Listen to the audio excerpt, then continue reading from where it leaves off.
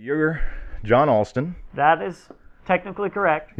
You're a film school graduate. Oh yeah, that, Technically something. correct. that's awesome. Yeah. Yeah, and uh, you and I see the world similarly. I've noticed. Oddly, Um, yeah. Yeah, like patterns, um, drama, especially when it comes to film. Oh yeah. Yeah. And uh, some of the things that I've seen you do, like some of the obstacles that you've encountered in your life, Yeah. you've found things that bring you peace. Oh definitely. And one of those things was stop motion animation Oh boy. of all things, right? It's a, it's a dying art, which I really appreciate because I like tomahawk throwing. I like these, I like starting fires with flint and steel. I like, Ooh. I like the lost arts that still have a place in the world. And I think you found one that I had overlooked. And that's just really cool. So just tell us a little bit about yourself and what, how did you come across stop motion? It's, complicated because the thing is stop motion is part of I think everyone's life. If you've lived in the '90s, you've seen commercials, you've seen um, things, but I think it came into fruition when I realized I couldn't make the student film that everyone else was making. Like, I, you know, it's like I wanted, it's, you know, the thing is, s- student narratives are usually very dramatic and they, they are very real world oriented. And I'm like, give me something fake. What, Yeah. what can be more fake than something that can only move if you make it move? Mm. Mm-hmm. Now, why stop motion rather than uh, 2D animation? Well, because it, with 2D animation, you can't, you can, but you know, the thing is, you've got Roger Rabbit doing that. But like, the the thing is, with stop motion, you can use it in, as effect, and pretty much no one else is going to use it that way. You know? Mhm. That's true. That's true. Now, we saw stop motion die right around Jurassic Park. That correct? was the that was the clicker. Yeah, Jurassic Park was originally supposed to be a stop motion animation film. Steven Spielberg, I think, in one featurette I saw, was saying he wanted to make the ultimate stop motion film. I, I think he should have done that after he made Jurassic Park, but oh well. Yeah? you know, because I think the CGI tests do look better, and I, I say this with with anguish in my soul. I'm like, okay, the, every every person who's working with models is like, John, why did you say that?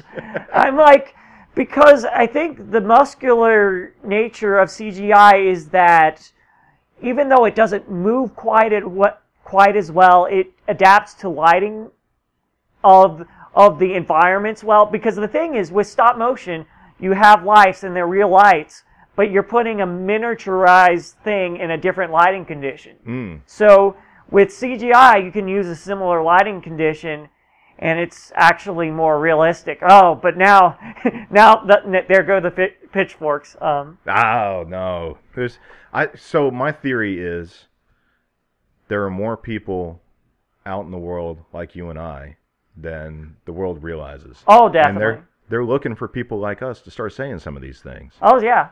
Um so favorite stop motion film? Oh, f- favorite stop motion film?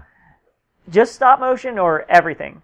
Well, we'll we'll we'll pigeonhole it. We'll go to stop motion only, and then we'll go everything. Oh, I can't name it everything. I, Uh, stop motion only. It's it's gonna sound silly, but Chicken Run, ironically, Chicken Run. like as a Now feature film, like I'm like, That's Mel Gibson starring as the rooster, right? yeah, he's yeah. a risk, and it's when you watch that film, you're like, this wouldn't be good if it wasn't stop motion. But something about it being stop motion made the film likable. That's you know. interesting. Because t- take the stop motion away, and it's just a second-rate Great Escape.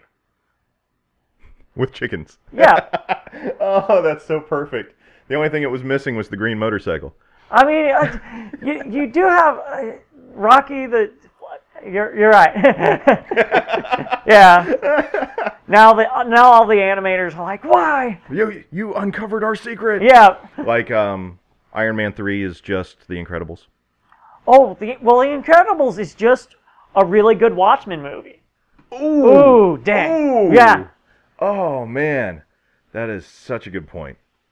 Now, Watchmen, that's Snyder, isn't it? Oh, Watchmen is the one Snyder film I'll defend. like it's it's it's not looked in the right way. How do you say, or how so? Um, because superhero movies are a genre. They aren't. They do not exist as a piece of independent work. Comic superhero comics are variety because writers are insane, and so they have Spider-Man take over Doc Ock's body or vice versa. And people say it's a good idea because they just want people to read the things. But with superhero movies, they're for families mostly. They're for people who want to have fun, so they're mostly light movies. Okay. And and with Watchmen, it exists technically in that genre, but it's not like the other genre entries. No, because at the time, I mean, you weren't. I mean, we had Batman, right? Batman, yeah. Batman is dabbling in the dark, but it's not as dark as that. We had Punisher. No, Punisher Warzone, I think, went that dark. But maybe. I don't know that it was. it. I still haven't seen it, right? Yeah, so I and I feel bad because it was um, what's her face, the stunt coordinator. Uh, it was her. I think it was her first direct, uh, first film she directed. Oh wow. Um, and I really like the idea of a stunt coordinator directing an action. oh, film. that's what they should do. Like right. You know, the the new Left Behind. I'm sure it's garbage, but it was directed by Vic Armstrong, who did the stunts in Indiana Jones. Oh, that's cool. So it, I'm like, I bet the action's great, and maybe that's it. I think there's an appreciation for practical effects coming from the. oh, the there's stunt- there's love. It's beyond appreciation. It's like there there's this Ghostbusters commercial, and it, they have a person in a costume, and I'm like, CGI would look better. And I say that as I love stop motion and work with it. Yeah. You know, it's just it's practical for practical sake, not because it looks better. You know, Yeah. um, but practicals can look better. It depends on the thing. Well, coming back to Jurassic Park, I think that's where the the original Jurassic Park is still my favorite. Oh yeah, and the reason for that is because CGI was so hard to do, yeah. so expensive. You had to do it in limited increments, yeah. increments, yeah. And then when you did it, you wanted it to be perfect. Oh, you had to You wanted it to be perfect. And if you look at the effects in Jurassic Park versus Lost World, the lighting's wrong in Lost World. The skin looks sleeker. It doesn't look like it's got that texture. And in looking back, uh, you know, uh, growing up, I was trying to figure out why that was, and it was you were using puppets. Oh, You were you like you were using stop motion in one scene, I believe, isn't it? With the literally the hatching ki- scene. Yeah, The kitchen isn't the kitchen scene. No, it's not. CGI? It's CGI. It's a lot of puppet work it's too. real though. puppets, but it's it's not stop motion. Um, but but it is a mix of CGI raptors and puppet people in raptor costumes. Yes. And yeah, should we?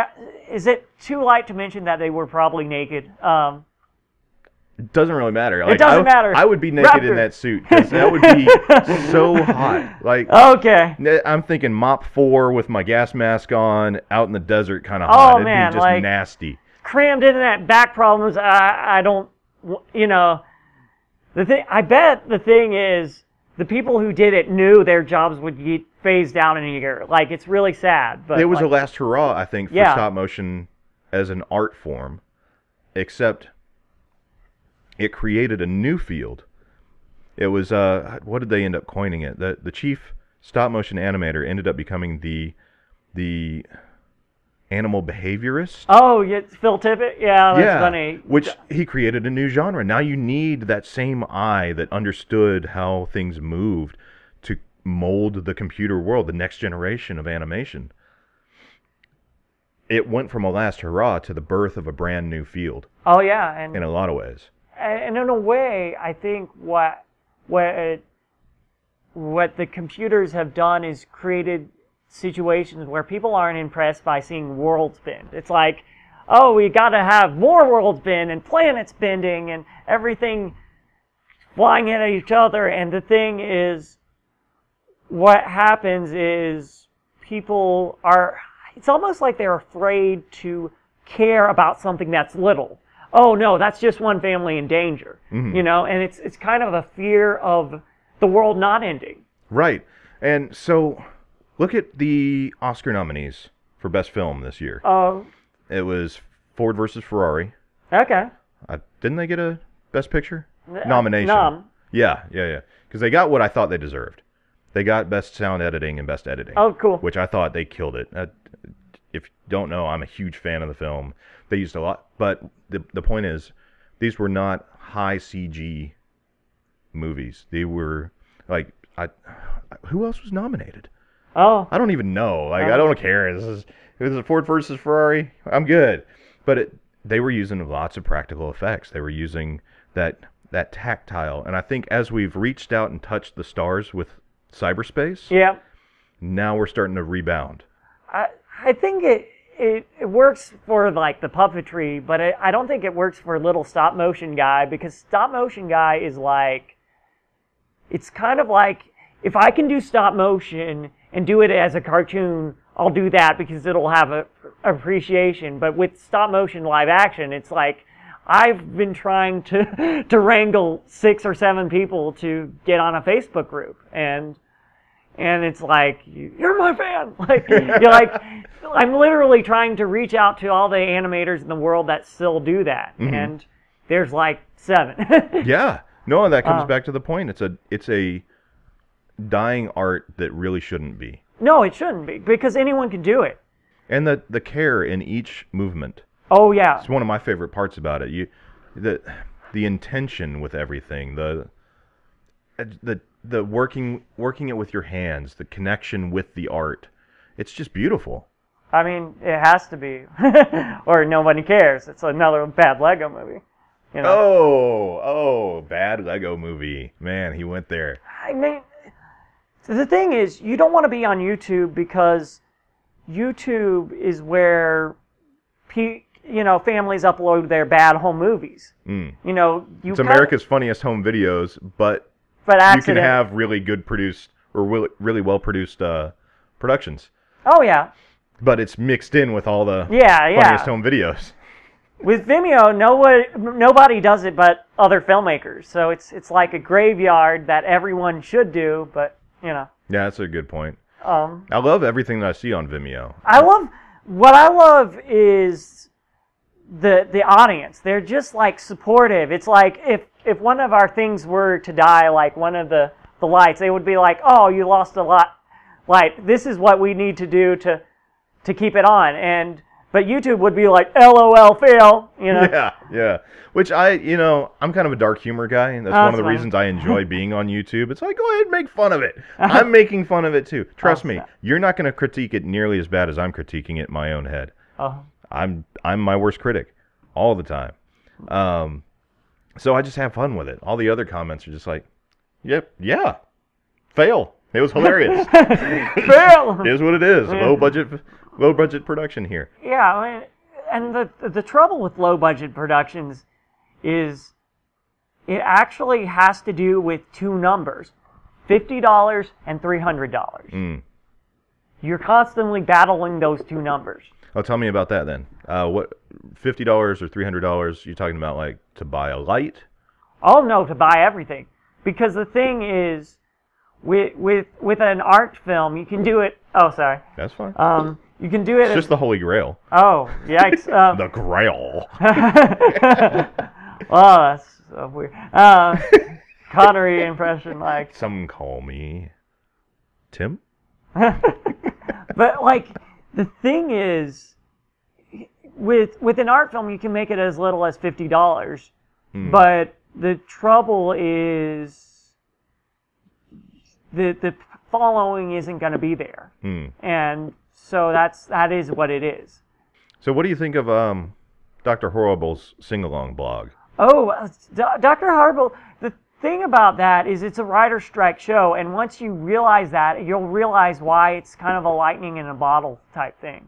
Yeah, they're gonna do a sequel, and I don't know. Nah. I don't know that we should be. I- No, it's very contained. It doesn't need Mm-hmm. it. It's, we were talking about Firefly earlier for the same reasons. It's it there something was born there, I think, in the struggle against the network and for instance, Nathan Fillion was talking about how Joss wrote Mal to be really dark and depressed all the time and just this this brooding character and Nathan's like, I just that's not me. I don't I don't think I can find that in me. Uh-huh.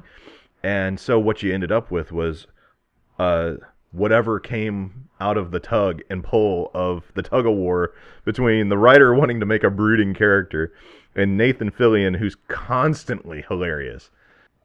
Well, that kind of happened with Groundhog Day. Oh, Oh, really? Yeah. Yeah? Like this is the thing is Bill Murray was had it with his Ghostbuster type thing. He so he wanted to make it a really dramatic film, but um, Egon, oh, he died, and I'm sad. It was so, sad. Yeah. E- so- but Egon wanted to make it a comedy, which to me it's it's both movies, but it's a better drama than a comedy. Yeah, I, so it's Evolution. Are you familiar with this one? What is that? David Duchovny, Seann William Scott, um, Orlando Jones. Oh wow. Oh, what's her face? I can't remember her name. Um, but it started out as a serious script about aliens landing on the planet and evolving on the planet and trying to take it over, and they decided to rewrite it as a comedy. Oh, that's fun. And there, it was. It might have been the same guys. It's Reitman. All right. Oh, Yeah. wow. Uh, so it and it, you could tell it didn't know what it wanted to be. And Groundhog Day didn't have that problem. No, it didn't. It Yeah. sagged. What's that one that uh, Nimoy did too? Didn't he do the Three Men and a Baby? Yes, yes. Like where did that come from? I mean, it just it's another example I think of what we're talking about, where two chemicals that wouldn't necessarily mix end up creating something spectacular. I mean, N- not that Three Men and a Baby is spectacular, but it's well, it was the good. is, the thing is, I think w- with with stop motion, the the issue is the people who like it the most are already doing it, and the people who dislike it, you know, they they it's like. There, I think the people who dislike it are just really curmudgeoning, but th- there aren't those mi- that many people. It's just the trouble with medium today is that if a person really cares about an a- animation medium, he's probably an animator. Like Mm.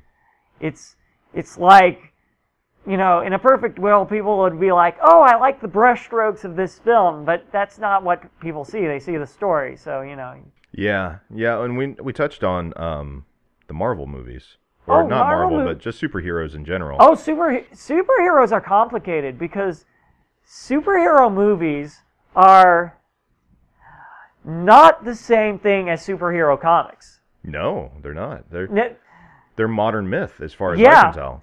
Superhero movies are kind of a feel-good escape from reality, Hmm. generally speaking. Endgame, not counting, but like the movies that you know. Winter but, Soldier, I really thought went. Winter Soldier surprised me with how dark it went. I was like, oh snap! They decided to make a really good film. Forget a really good superhero movie. They made a really good movie. oh yeah, it's it's in my top ten. I could. Is it really? yeah, it's in my top ten superhero movies. Wow. Um, well, you know, you've got Captain America versus Georges St. Pierre, which is pretty cool. You, former UFC champion. That's who- awesome. Yeah, um, what's his name? Um, oh, the French guy on the ship at the beginning that they end up having to take out. Bart, Bart, Bart. What was his name? What film? Winter Soldier. Oh, Towards the beginning, towards the I don't they know. they have to raid a ship. Um, I'm gonna put it in the. You know what? We're just gonna put it in the. Uh, Archives. Yeah, it's gonna be in the notes down at the bottom. I'll figure it out. Bard Bard Bardolk? What? Oh, I can't remember his name. Anyway, but it, yeah, it was former former UFC champion Georges Oh, that's cool. St. Pierre. He might still be reigning. I don't think anybody took the title from him. Oh, that's awesome. But yeah, and it was a, a proper fight. That was when we started seeing the shield getting used properly too. Oh, yeah. Oh my me- gosh. There's the part in Civil War where the shield gets shattered a little bit. Mm-hmm. It's like I think that mo- part is like what people wish comic books were. You know? Maybe. so comic books are, you know, you've got two different audiences there. I think. Yeah. You've got the people that wish it was that. Yeah. Then you've got the the hyper creative types Oh no, they That are they go ex- crazy. that are experimenting with new ways to tap into the same themes. Oh yeah. Um, and there's gonna, I mean, you're gonna have like a one percent hit rate on that, but No. there's nobility in trying. I think. Oh yeah. Speaking of nobility, Dragonheart. Dragonheart. I hated that movie. I, Ah. I think that within every scene there's a scene that that looks like it could have been better, but it seemed like it's earnest entertainment. Like it's it's got Sean Connery, it's Knights, it's They tried hard. they tried really They really tried hard. really really the, hard. The scale of it is really big. I don't think the uh, I don't think the story was was um in I don't I think it was But it's the I think middle you got act. browbeat with it. Like it was all too literal. They didn't they didn't distill it enough to where you just were left to the imagination on some of the the the interpretations of what they were trying to do. I mean, do. okay, this might uh, might go into a different category, Yeah. but the trouble the trouble with theme-driven criti- criticism is that if you aren't careful, you may be remaking a movie to match your ideas. So it's like Mhm. you're judging a film not based on what it is, but what you want it to be. And then it's like I judge all films that way. yeah, yeah, yeah, well, you're a filmmaker. That's what filmmakers do. They're like, that shot was too long, that take was too weird, that scene was too, the pacing was off. yeah, Yeah, you know, and I do that. I I've got my own version of how Anakin became Darth, for instance, which I shared Oh, with you one right. time. You know, I I pick those apart. I do tend to find an appreciation for what is created, though. I'm I've been called a lover of all movies, Oh, especially bad ones. I mean, bad like, well, I- movies. it, they- the difference between a bad movie and a good movie is literally the screenwriter knowing what he's doing. But it's not like, Maybe I I pull out nuggets, like so in Ultraviolet, for instance. Oh, whoa, you're get, getting deep. right? Ultraviolet. um, that's uh, Kurt Wimmer, right? In a with a movie that he wrote and directed for Milla Jovovich, Oh, snap. right? It's so you've already set a high expectation Oh, for dude. your film, right? He uses his gun katas in a way, you know, from Equilibrium, the martial Oh, yeah, arts that, mix, that was cool. which one of the coolest fights in all of film, Oh, I think, is the pistol fight at the end of Equilibrium. I think the trouble with Equilibrium is it had the perfect second act finisher, and the pistol fight couldn't be as good as that because it's this really long scene Oh. with katanas swirling around with almost no cutting, Yeah, and like, I think it's a fake oneer. I liked the pistol fight at the end. I thought that was the perfect. Uh, I thought it, culmination of everything because it was a knife fight, but with range, like surprise range. And Bob- there, for me, as a, with a little, the tiny little bit of fighting background I've got, and the tiny little bit of weapons background I've got, um, it built a tension for me. Like, oh snap! Like you don't know. All it's there's this pause in the middle where there's no gunfire, and you're going. What, what, where is Wait, it? wait, wait, What's gonna took happen? When's it gonna happen? Versus, you know, they could have done what the Matrix did with Neo versus Agent Smith in the subway, Ah, yeah. where it was a, a it was a great Western showdown, but with running and getting all the way up to the gun to the head part. That was a great take on it, and I think that might be what you're kind of describing is the nice long shots that kind of live up to the I don't know. I guess play. I think it had a better climactic fight before the actual one, and if they just reversed the order around, The fight against all the guards was really cool. yeah. especially the the use of the sheath, I, fantastic. And then the the very next fight being him versus Taye Diggs, and it's a a one two three. We're done, straight up anime style to the point of you Mm. had the delayed drip of blood from the sword, oh yeah. and then the delayed face sliding off. oh yeah. Right? It was like, what? They went it- straight anime with that. It's the thing is up until the point. It's it's an R that forgets it's an R until the face slide, and then you're like, well, there it is.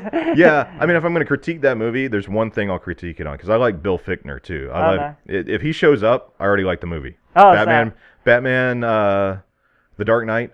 Bill Fichtner is the mob boss banker, yeah. He's and I'm like, I know like I'm going to love minutes. this. I know I'm going to love this movie. I know I'm going to love this movie because Bill Fichtner showed up. Um, they, I don't know why they did it. I don't know if they were aiming for a rating or what. But if you look, all the blood spray from the gunshots is like a dust gray. Ah, that's funny. and in the super clean environment that they were in, like it was ecumenical to the extreme, right? Where's all that dirt, dirt coming from? they're Uh, getting like the the guards all clean and like they're they're polished. They're literally polished. Where did that dust come from? it's like, uh, did we just forget to color the gray as red in post production? I mean, what Uh, happened there? I was going to ask you about um projectiles in stop motion. oh, We were talking about the shield earlier, and that got me thinking, like, how when you're doing stop motion, how would you get Captain America's shield to go from here to there and then bounce off of something? I've always wondered how you get that to hover. Um, well, let's see. The thing is, I haven't done that yet. But if I were to do it, I'd probably have a rig and animate it on the rig with a thing and and then key out the rig somehow and it wouldn't be a huge deal, but it would be something that would be hard to do if you were doing it for a long period of time and just doing the movement right. Because if you get the movement wrong, the physics are gone, you know? Yeah, yeah. What what do you think they would have done before green screen though? What, Because we can we can erase like we we could put it in a, a green screen rig if we wanted to, and just erase, put the set back in. well, what they would Digitally, do is they would use rear projection early Hmm. on, you know? Yeah.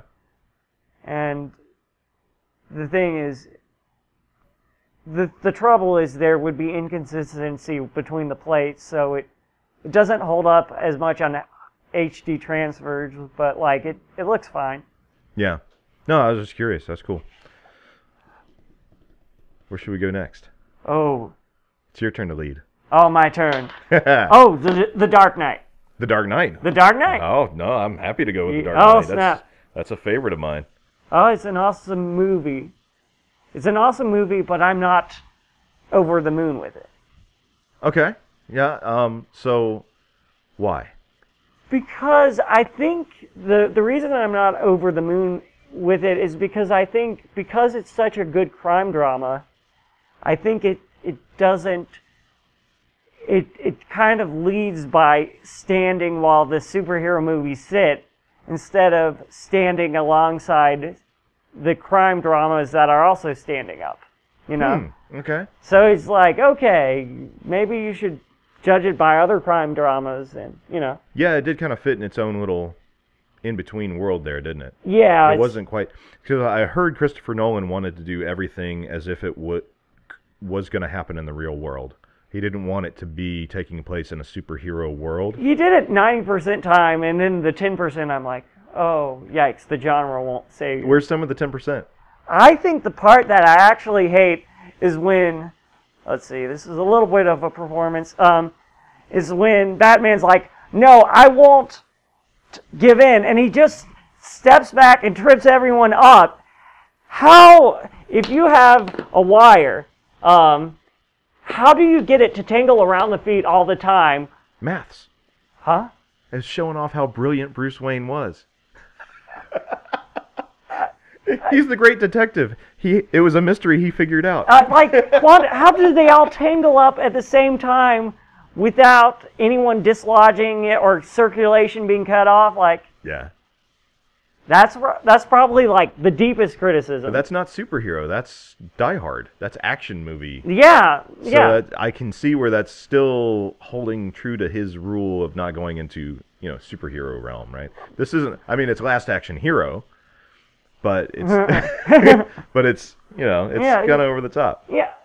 But the trouble is, it's like I can let that be a point of contention because I'm judging it by the standards that it was up until that point. You know. That's fair. It's a consistency issue. It's Yeah. Not a, yeah. It, If the movie was more car- pattern. cartoony up to that point, I think it would not stand out as Mm-hmm. being the worst scene in the movie. Yeah. Like up until that point, I'm like, yeah, this is a great scene, and then it's like, step away from the line, and I'm like, oh, is he gonna jump below and then save the day? No, he's going to create a cat's cradle, Yep. and you're like, oh, Batman logic.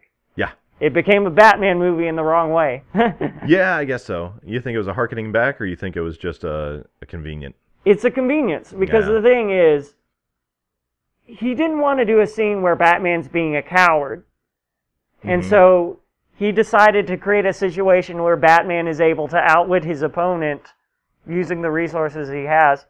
Isn't that a staple of Batman though? It is. But the trouble is, with that scene, you have to believe that the cable has a mind of Batman behind it and not is a cable that's just tripping everyone and tangling magically around their feet Yeah. like a magic carpet. yeah. It- It's a cartoon for that minute. Mhm. And the thing is, that minute is all it takes for me to get the immersion broken. Yeah, that's fair. That's fair. It's the thing that pulls you out of Yeah, I'm like, the world that had been created. yeah. exactly. Yeah. You know? So, what? How did you do with Inception? Sticking with Christopher Nolan here. Oh, man. Bouncing over to another Oh, one oh no, no. Don't we don't ask. We can't ask about Inception, but the thing is, Inception is where I think you see both Christopher Nolan's greatest strengths and his greatest weaknesses at the same movie. Interesting.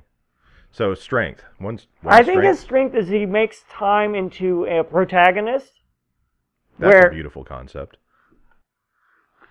where he makes time into a to to the primary driver of events, and he's it's almost like it's as much of a character as the people talking. And I think his greatest weakness is that his reliance on action basically means the movie is boring when it should be the most exciting. Like you have this nice set piece, and you have the, the nice set. Like you don't have complex, and, and the thing is, it doesn't have to be all like um, Jackie Chan, but it can't be like two guys just throwing each other. That's kind of dullish for me. Yeah, that's a little uh, Terminator 2 Oh man. T800 versus uh, T1000 when there's just tossed to one side of the hallway, tossed to the other side of the hallway, tossed through a wall. Uh, nah, I did enjoy. Um, and if you haven't seen it yet, Batman fights Jason Bourne in Ford versus Ferrari that it's not. because oh, it's wow. it's Matt Damon and Christian Bale and they get in a tussle. Oh wow. Yeah, That's, that's wild. But it's not the the fight that you would ever imagine. It was hilarious. It was just too funny getting outside of the the movie for that moment and thinking that's Batman versus Jason Bourne. Well, you know, the thing is, the sad thing is, I think movie Batman Jason Bourne would win, would win that one. But Interesting. yeah, because Bourne, what Bourne does is he uses his environment as a weapon, hmm while Batman hopes he has a gadget to save the day. He So, doesn't hope he's got that magic utility belt that always has the gadget to save the day. Oh yeah, of course. like bat shark spray in uh, the in the early Adam West Batman. I mean, Oh, it was so funny. that's the point, though. It's not trying to be a, a, a story that it isn't. But yeah, the thing is, with The Dark Knight, it's it is a crime drama, and because it's a crime drama, we we have to compare it to the greats. And if you think it holds up, that's okay. And if you don't think it holds up, that's also okay. Because Yeah. I, I think it danced between the two. oh, nice dancing, in, dancing in the pale moonlight. You know. Yes, yes, Nice. yes. Very Uh, nice. um, you know, I think with the Burton films, they were their own thing, and you, you, you could spend a lazy hour just debating the execution of their stories, but they, they were Burton films. Well, it was know? the first Dark Batman we saw too. So Yeah. you can only knock it so much, right? It was, it it's what turned really superhero movies in general. I mean, you could argue Christopher Reeves. Um, no, it's Reeve 1S. Chris. Yeah, it's Christopher Reeve, Keanu Reeves. Yeah. um, cool breeze over the mountain, Reeves. Uh, but Christopher Reeve in Superman did take superheroes, I think, to a blockbuster blockbuster level, oh, absolutely. and I think Batman was a great follow up with that with Michael Yeah, Keaton. yeah. to get Jack Nicholson to play the Joker, Oh, man. He, still a favorite. Yeah, I mean, is there a bad Joker? Do, I mean, other than Jared Leto, oh, the, the trouble I couldn't about resist. the trouble with Joker is, I, I feel like Joker is, is a lack of c- control versus control. So I don't know what a bad Joker would look like, you know. Whereas Batman I think Batman is, is kind of control vote versus acting, and I think the trouble is the better the actor, the harder the person has at playing Batman. Mm. Uh, Christian Bale is definitely a better actor than Ben Affleck, but Ben Affleck did, you know, is better at not acting than Christian Bale. So for Batman, I'm actually prefer how Batfleck feels. But the movies were so bad, it's it's not even fair to, you know, it's, it'd be like picking out a ruby in a uh, bucket of turd. You know, you yeah, yeah. In, know. in Batfleck's defense, right? He he's fantastic in Pearl Harbor as that natural. Oh, like, man. To your point, he's not. I don't feel like he's Batman or a pilot in that movie. I feel like I'm getting to know a genuine character that I care about.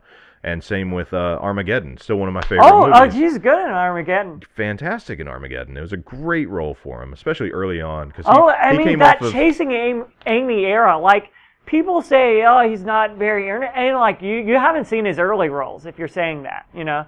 yeah. Well, I mean, chasing Amy. Uh, what are we gonna go with? Um, Uh, Good Will Hunting, like same type of. Field of Dreams. Oh, he wasn't in that. Yeah, he was. Who was? Yeah. What? Him and Matt Damon are sitting in the. Uh, in the Whoa, no, stands. this is No, they're weird. just extras. Uh, They're just extras, but That's they're up hilarious. in the stands. that's hilarious. Yeah. I I will have to see it again. Oh yeah, no, it's too funny. I mean, but but yeah. the th- thing is, Good Will Hunting, definitely, for Damon. the the thing is with Batman, the the better the actor, the worse the Batman for some reason. Because George Clooney's a decent actor, but he's he's he's that you Clooney. can't use you can't use Clooney Oh. because nobody appreciates that movie for what it was. Oh no, it's it's totally a toy commercial. Like That's interesting. that's what it is. It's mean- a Happy Meal type. No, that's not what it was to me at oh, all. Oh wow! It was modern Adam West. All snap. Okay. And if you think of it as that, with the camera angles, Uh-huh, they, nice. they captured it. They used, I mean, the Bat credit card. Come on, the one-liners Oh, from that Arnold Schwarzenegger, um, all that stuff. It was so purposefully over the top. I appreciated where they were coming from. I didn't appreciate the timing. Oh wow. Okay, so you have a Batman and Robin apologist. Like that's that Sure. could be your hero, isn't Like de- defend Batman. Like uh, Clooney was a great Bruce Wayne, Oh yeah. and he was a great Adam West Batman. Oh, nice. But you have to want the Adam West Batman. That's that's where the conflict is. It's like to me, that's what it. I think Val Kilmer did a really good job of riding that line. He kept Oh, more yeah. of the Keaton Batman with some nods to Adam West in some moments, yeah. but he was his own. I mean, forever is weird because I'm like, it's it's like the fi- the cartoon you're embarrassed to show your parents, but you want to see by yourself. That's what forever is. I like Tommy Lee Jones's Two Face. It was terrible, but I Whoa, loved whoa, it. whoa, I whoa! loved Oh, it. that hurt. That I you made me want to cry. Like, uh, to, to me, Tommy Lee Jones is he wasn't trying to make a good character. He was basically a parody. He was basically I want to be the Joker, but you hired me for this. I'll Yeah. just. Yeah, Yeah, it's, it's terrible. there. It's there. terrible. It's there. It's- you you see it yeah, on screen, and you're like, I, I hate to say it, but other than the really crap pop psychology that they were infusing that movie with, he's the worst part of that movie. And I still like him, but I like him for really bad reasons. oh, oh, It's just it was good imagery. I thought he was a better Harvey Dent. I thought he looked the part a whole lot Well, more I- than what we went with with the Christopher Nolan thing. I think though, the thing about Tommy Lee Jones is he's a really good actor. He he's very charismatic. He's very aggressive, and he he can dial it back, but he usually plays to that end. Um, yeah, if you haven't seen his movie Man of the House, where he's basically the main character, oh snap! and he's a an old U.S. Marshal trying to take care of a bunch of college cheerleaders. That's funny. It's just the funniest thing. Like at one point, somebody says, "Come on, where's your happy face?" He's like, "This is my happy face." it's just perfect. It was, uh, apparently, he had a lot of influence in how that movie was done too. I think, but I love him. I think he's great. And you were going somewhere with that. I'm sorry I derailed that. the the thing is, what works for Batman doesn't work with the Joker, and vice versa. I think with the Joker, the actor has to be very in tune to his limits because it's not a role that anyone should be able to play. I don't think it'd be responsible to let everyone play the Joker Mm. because hmm you know with with the Joker you have to turn off your your rationality. You can't just say, "Oh, I'm going to be happy man." You know, it's, you what you what you have to do is basically turn out turn off the part of you that's like, "Ooh, this is weird behavior," and mm-hmm. just let it all out there. And I think Luke Skywalker can do it, and maybe Luke Skywalker is the only one I feel comfortable doing it. He's you know? got so he brought the range that I think Ledger brought. That- Yeah. that was what I really appreciated about Ledger's performance was yeah. we went with the really high, and then he would go, "I'm a man of my word." And you get down in the basement, you're like, "Whoa, that felt demonic." Yeah. It's great, and I think that's what um I think that's what Hamill introduced to the character through the animated series. Oh yeah, Well, and and the thing about Hamill is he's the Joker. This is what I like about him, and I I, I don't want to cause death threats or our you know that actually happened when The Dark Knight Rises came out. Mhm. People people went crazy when people Yeah. wasn't getting a hundred percent at Rotten Tomatoes. It's like okay, it's a movie, you know. It's a movie. Yeah, but with with Mark Hamill's Joker, you can underestimate him until he he messes you up. And the Yes. thing is, with Heath Ledger's Joker, he's so serious that it's hard to imagine someone seriously underestimating him in real That's life. fair. Like he's, I guess he's too good in his role, and that's a Yeah. good problem to have. But No, that w- that is something. That's a really good point because one of the things that I was trying to figure out and put my finger on about Hamill is why do I like him so much? Why does he feel so surprising? he does it's feel because surprising. every now and then it's like, oh, we're just kind of doing our hunky dory thing, Yeah. and he's like, yeah, I could hang out with this guy. And Oh, then no. Suddenly, he's trying to drop you an acid. It's whoa, where did that come from? And that's It- that. I think that was his manic nature. Like he's up, he's down, he's. I mean, it's just that intense pull in all directions.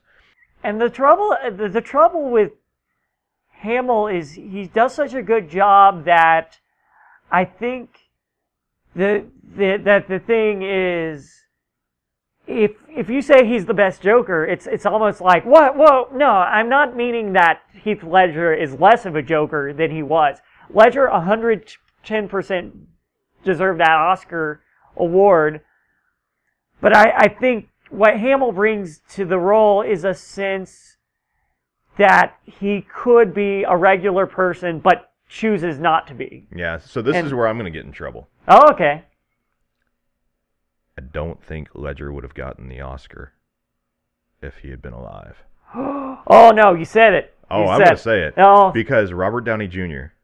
was also nominated for Best Supporting Actor that year for Lincoln Osiris. oh no, no, no. Tropic Thunder. oh, that's weird. and we they were going there like oh no, no. Th- the th- whole like this is I mean even though it was blackface in a lot of ways somehow it wasn't offensive. They tapped into something that was just amazing for that movie and I think Robert Downey he plays an Australian guy in that movie that's funny. playing a black guy the wrong way, right? Well, that's funny. He's, he's Uncle Tom in it way too much. And on purpose, because that was the point of the character, and that's why he gets checked for it later. Oh wow. And then he also plays a um is he a is he a, an English Catholic pr- No, he's an he's a he's a uh Scottish No, that's funny. priest in that the fake trailer at the beginning. That's funny. And if you watch the commentary, he stayed in character for the commentary too. He That's stayed insane. true to the character.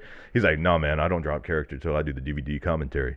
And it's like he didn't. No, that's awesome. it was brilliant. And I, to me, I don't know. What do you think? Is he Ledger went hardcore for Joker? It was a fantastic performance. I'm not knocking the performance at all, I, I, but the dynamics that RDJ brought. I think the trouble though is this goes into to the acting category is it's actually harder to be a comedic actor than it is to be that type of serious. Yeah. A nightmare. Yeah, Joker, yeah. nightmare. Which that was um, the Long Halloween. I think was the primary inspiration for this Joker. Oh, you read that one? Still my favorite Joker. Yeah. That the Long Halloween almost deserves its own podcast. Like I don't remember it that Yeah. well, but like We but- could do we could do the long Halloween for Batman. We could do the Five Nightmares with uh, Iron Man. no, and- not. That would be a five episode series. nice. Uh, but the, the thing about Long Halloween is it's about how how the criminals who create Gotham has have essentially create created control. You Mhm. know, they're the ones that are making sure the masks aren't terrorizing the city. And then as Batman takes the, down the criminals one by one, you know, Gotham becomes this war city yep. you know, and it's it's the best Batman movie ever made. Like, Yeah. like if I don't it- know that you can make that movie. I I don't think you can because it relies on being a comic, being its most comic book. So long form then, if we did it as a Netflix series Oh, or a Prime series or whoever, could it be done? oh, Netflix limited, twelve issues, twelve episodes an issue. I think it could, but they, Netflix wouldn't have the rights to it. It's WB property. Well, it'd be Disney Disney Plus okay, Disney buys out Wouldn't it? Batman in this alternate. because they're gonna buy everything, right? They will, yeah. So it's just a matter of time. You just Disney crush DC Batman. a little bit longer until they're s- cheap enough to buy, Yeah. and then buy them, and just be done. And then you own it all. Yeah, that's Like, what won't they own after they buy DC? I think they won't o- o- own, and this is going to get me in trouble, but uh, Pornhub. Like Disney will not buy Pornhub. Like, I love it. okay, Uh, yeah. that's the one. Th- They'll buy it through Miramax or something Ah. like that. That's so gross. oh yeah. Um, yeah. And they'll consider it independent film. Yeah, independent. It's like Fox Searchlight. Oh, gross. oh Oh. gosh. Um, Suddenly, it's an R-rated episode. Sorry. no, no. Oh man. So I wanted to find where were we gonna go next? We were gonna talk about talked about some animation. Oh, I was curious. So I'm seeing some animation stuff Oh. coming back. I'm seeing some 2D. I'm seeing some stop motion, kind of creeping back in. Ah. Partly because I'm hanging around you and I'm looking for it harder, right? nice. And where do you see it going? Like, what can we do with it now? What what would a revival of stop motion look like to you?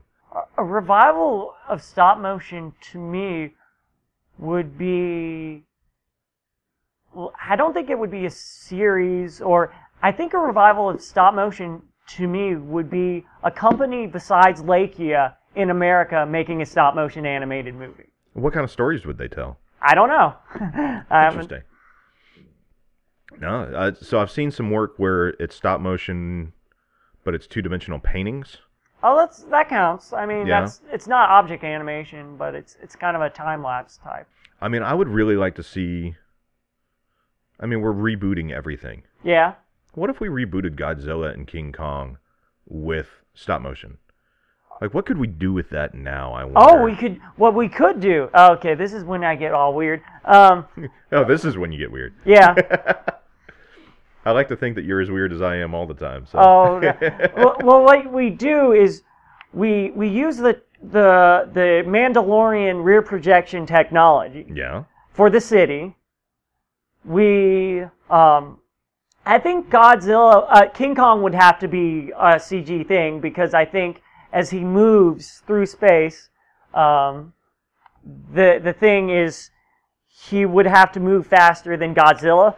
But Godzilla could be a practical character, and I think the thing is with Godzilla, if you wanted to do stop motion, you could do like a hatching scene. I think there's not enough interest for people to greenlight a full-on movie.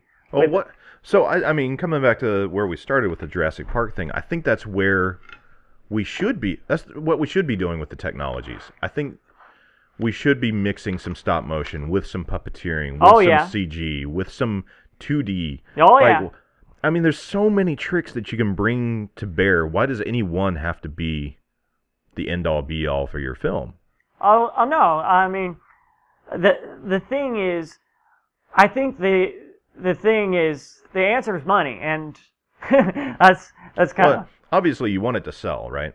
But this is proof you have an idea, you can make it. Oh yeah, It may good. not be an Oscar winner, Uh, but uh, there's a soul in each art creation, I think, if you're doing it right, oh yeah.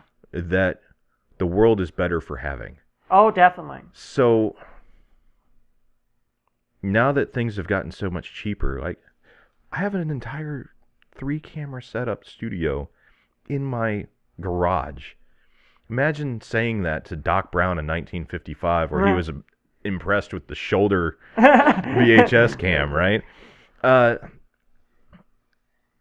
do you see more homegrown stuff showing up? More guys in their garage doing their own thing. Like you're working on some projects right now, right? Oh yeah, uh, it's it's funny, but I'm actually working on uh, 2D shorts, so I'm like, that that's something that I'm like, okay, that's, that's something school hasn't taught me. have to teach myself. you know? yeah, but you were also working. I mean, you've got some others on the back burner Oh, as yeah. well. Uh, Yeah. and so you're doing this homegrown though. This is in your.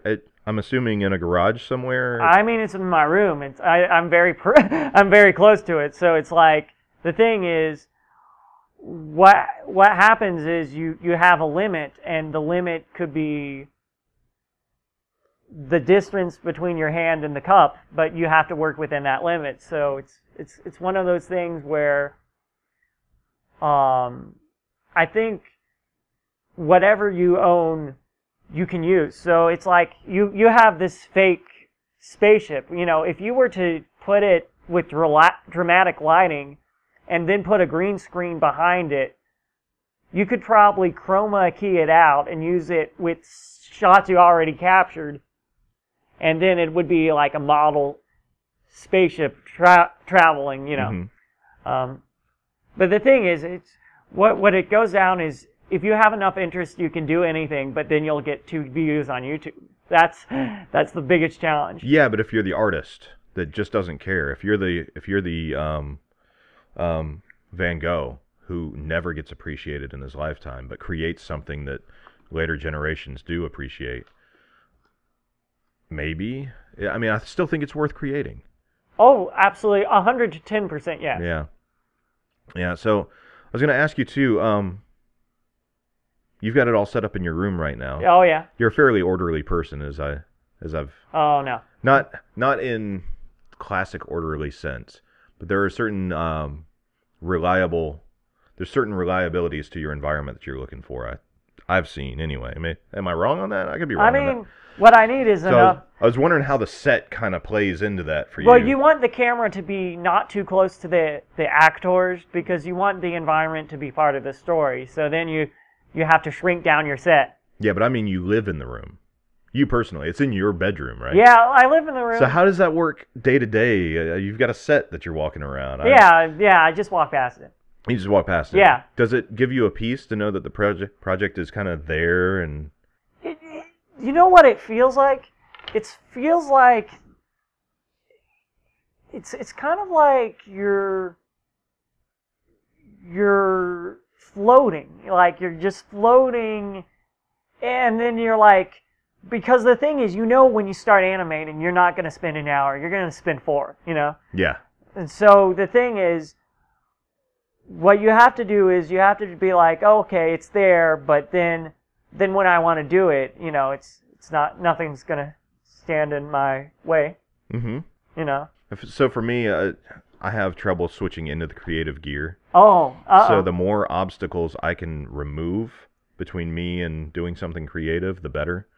Um, and so that putting it in my room, I'd love to do that. My wife would kill me though. uh, So that's why it's here instead. Because I mean, this is a pool table. This, you would pull these panels off. This is this should be socializing area, and instead it's it's my creative space. I've got a 3D printer over there. uh, I've got um, some of my writing stuff that I do over there. I've got uh, I'm building an electric car downstairs. Oh, I mean, whoa, whoa, like, awesome. This whole shop is a plethora of little projects that I can bounce between. Oh. Because I, I, I don't know if I'm a ADD. I don't think I am. But I started operating as if I was.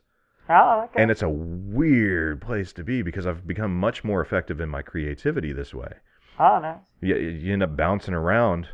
But instead of trying to like pigeonhole yourself, trying to control yourself to stay on one thing and not really making much progress on it, I make tons of progress on a ton of stuff. Uh, And then eventually one's done, and it's like, oh, there, there, bye, go away, next. and I, I didn't know. I was thinking it sounded like that might be a little bit for you too, because you've got it right in front of you. You got a couple of things going on. You're doing some 2D. You're doing some 3D. I mean, with with 3D, you you have to have the set, so it's like okay, you know. So I actually have characters that I haven't that aren't I'm not animated because I I haven't had the set built for them, you know. So they're they're collecting dust, you know, crying to be animated, but I'm looking forward to you doing them because everything that I've seen you make that's been just little test screens, you know, for the most part. You've done a couple of other things that I've watched, but um, they're so packed with emotion. It's so moving that these these characters, these creatures that are dying to be made, yep.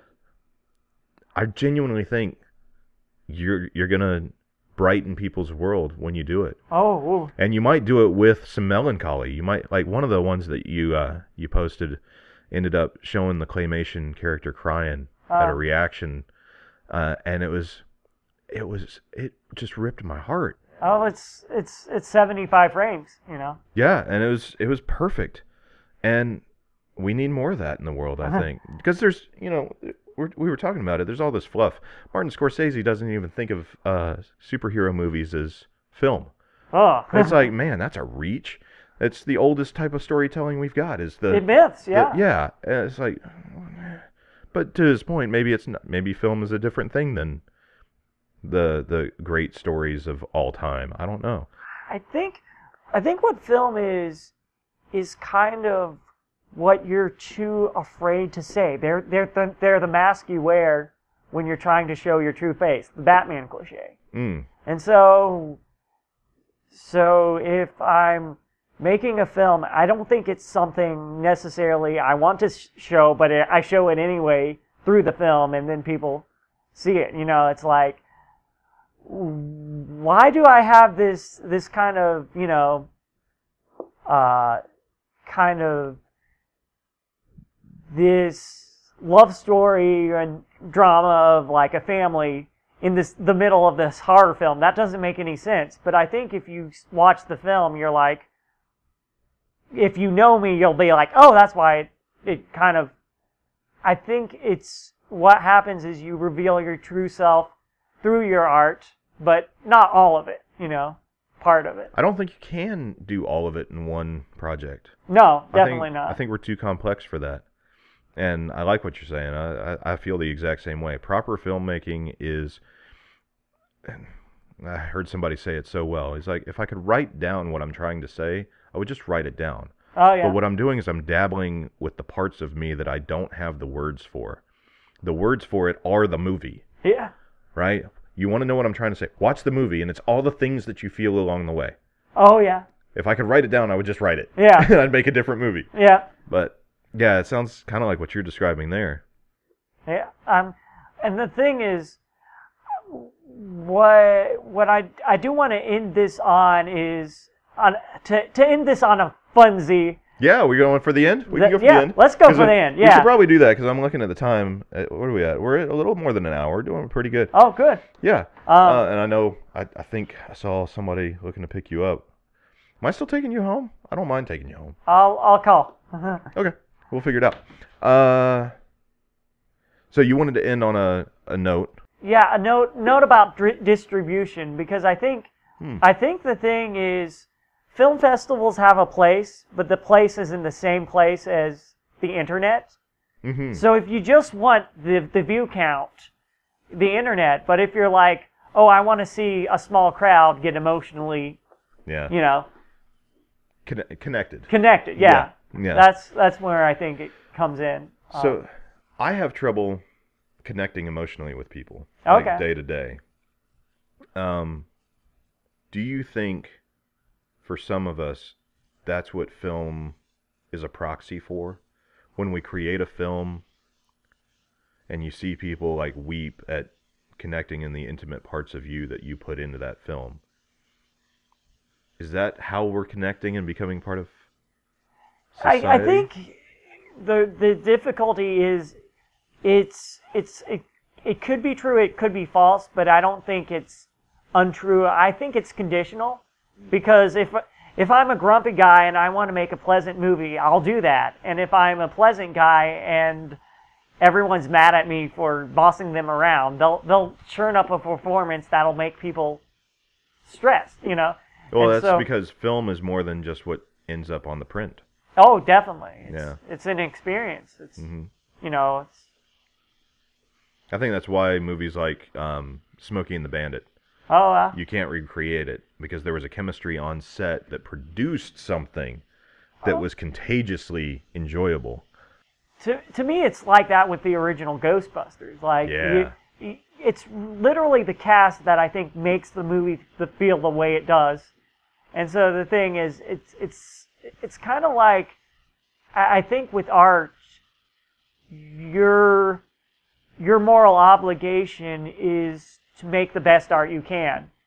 Mm. You know, Well, and if you're doing what we're talking about doing, if if I'm presenting the deepest, most intimate parts of my soul, maybe not the deepest, most intimate, but parts of my soul, just in general, don't I want to do it justice? Don't I want to oh yeah, do it with some reverence of who I am? And then it's not just me either. You know, you're the lead filmmaker, but you're coming in alongside other people who are filmmaking with you. So it's these little pieces of souls all coming Oh. together. let's bury the auteur theory. Let's just bury it. The which one? The auteur theory. Go for it. I Uh, don't know what you're talking about. Oh, oh, okay.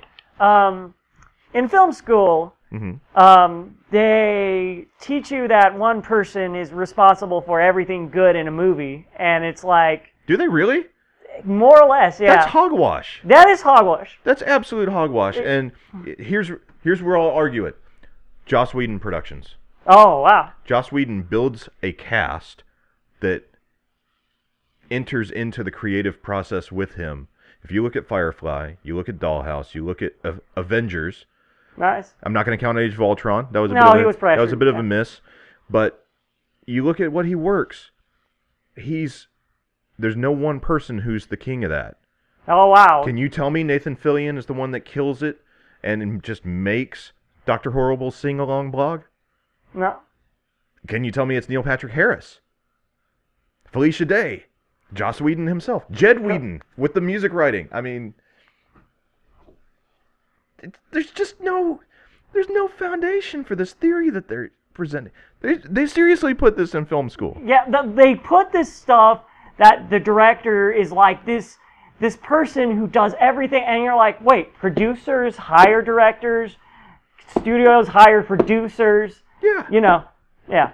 there's a lot of pieces, and then you're fighting for creative control the whole time because you think you're this end all be all director. Oh, of course, of course. It's ridiculous. You're Yeah. just breeding tension that's not productive. Oh man, bear. I mean, yeah, exactly. ah. Uh, Well, it's no wonder I'm seeing this. It never made sense to me when I would see this. yeah, that that way you can tell the people who have gone to film school because they're all kind of, you know, high Top on. the- down. yeah, it's like yeah, it's like okay, you're you're still at the bottom, you know. Yeah, well, not even that. Just bring everybody to your level, Oh yeah. right? Because you're not going to create it without them. Oh, exactly. And trust me, if you make your perfect vision, it won't be as good as it could have been if you'd allowed it to kind of grow on its own. 110%. Here's where I get, where I think the Iron Giant destroys the auteur theory is that Brad Bird would take every idea that was good from his crew to work on the story, and the movie is one of the best movies ever made. hands down. Uh, I would argue in anime we saw that with Evangelion. That was just incredible what they pulled off with that. Um, and it was just, it was a group effort. Yeah. a group effort. Uh, who else? I mean, gosh, we could just go down the line. I mean, all right. So to make the counterpoint though, Okay. because there's we're just ideologues if we only look at one side. oh, exactly. Um, uh, Kubrick. oh, uh, but Kubrick, Kubrick, Kubrick did a lot of different movies though. Mm-hmm. He he made different movies with different styles. Yeah, but he was a stickler for the image that he was trying to Oh, yeah. produce. What is it, 127 takes? It's one of the I famous. mean, yeah, but references. the thing is, you know, a stick in the mud director doesn't necessarily make for a good movie all the time. No, but his did is to Yeah. my, is my point. It's like he's a good. I think he's a good supporting example of the theory. Oh yeah, I mean, But I, but I also wonder what could Kubrick have made if he had had a few more Kubricks on his team that would have worked together to create something even even grander. uh, I mean, in a way, it's it's kind of like the the thing is, crowdfunding is like the ultimate death of the author celebration because you have every person making a little bit of a movie, um, until until it's like a project of its own and not one voice. And I think there's more speciality as a result of that than just like, you know, you know, I'm a director, dang it. you know. Yeah, I mean, if I wanted to see a a if I wanted to see one man's voice or one woman's voice or one gender fluid voice, Oh, care, I would careful. I would go see a one person show. oh yeah, a one act theater. drama, definitely. One act, one actor. Yep, no, I would I would watch that. I would watch that. two hours. But that's yeah. But that's that's that's so one dimensional. Oh yeah, it's total. And what it does is it makes students want to fire everyone else so they can be the guy. You know? Well, and that's the problem is if they approach it that way, everybody will quit anyway, Yeah. and they will be that guy. Like how many producers and how many directors have been left holding the bag because somebody wouldn't work with them anymore? Oh, hundreds. Right? Like- I, I'm not thinking of any though. All of a sudden, you you got any? Uh, you Who know, walked off set?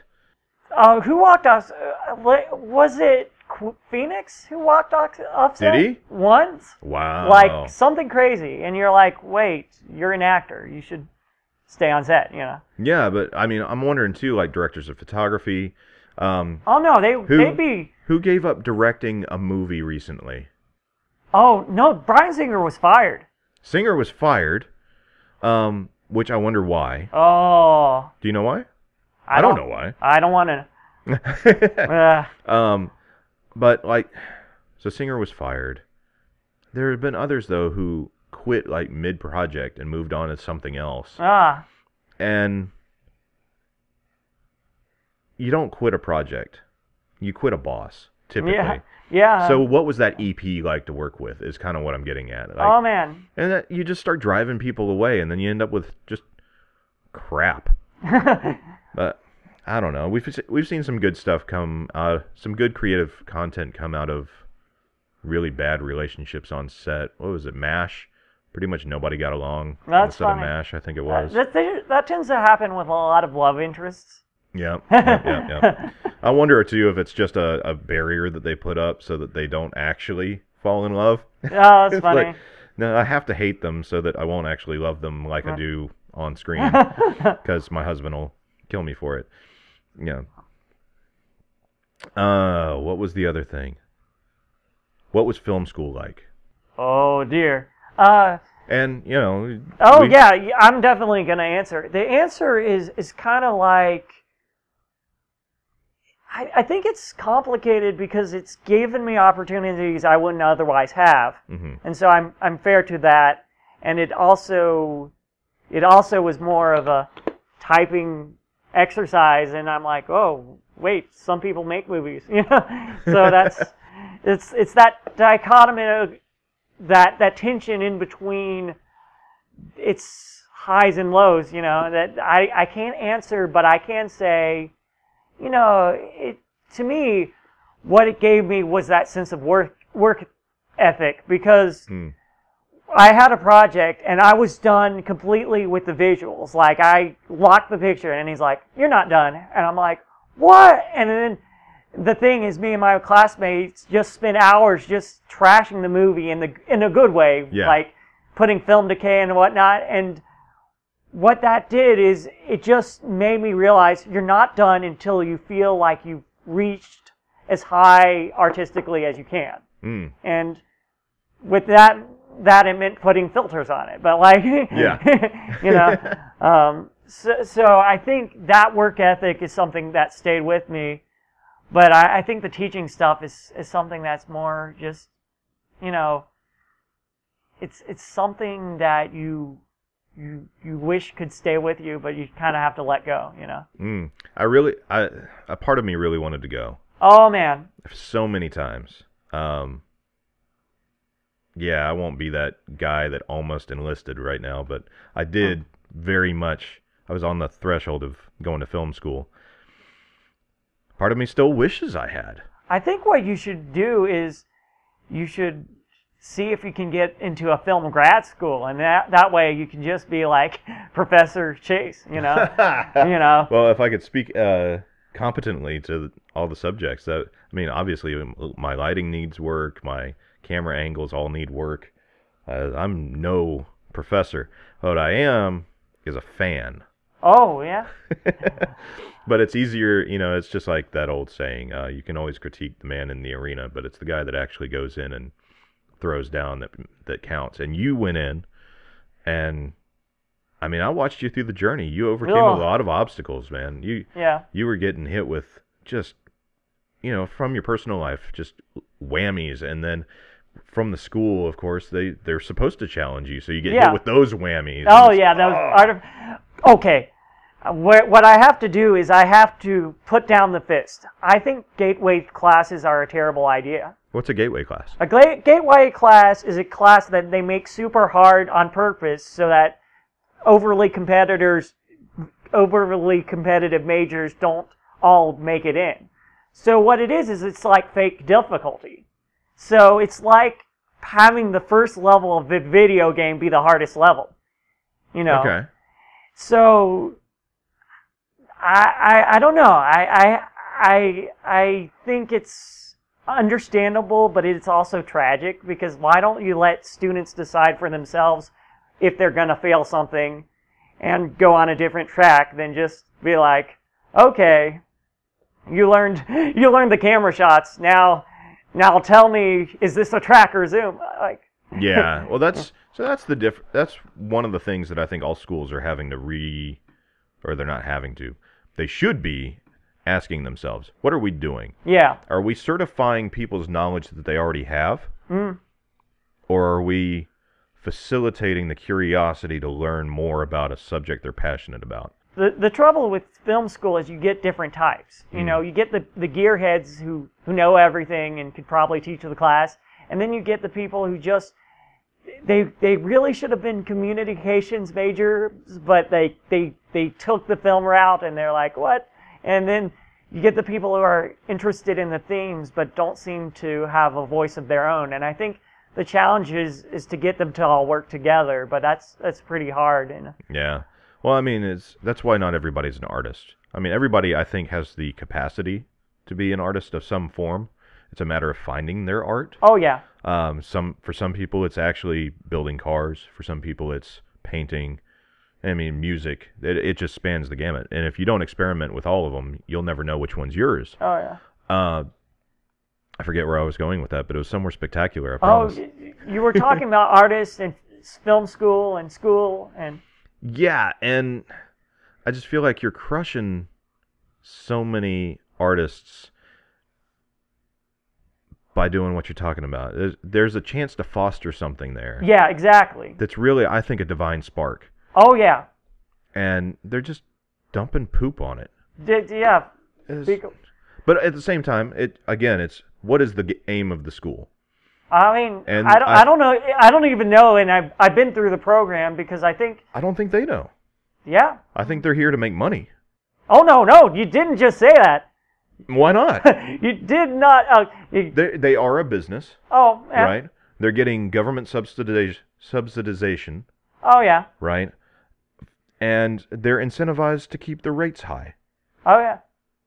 and to keep their books high. Like Oh yeah. all this stuff. And what you're doing is you're investing in a hope.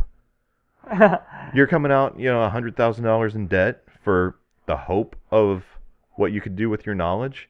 yeah. That does not seem like quid pro quo for me.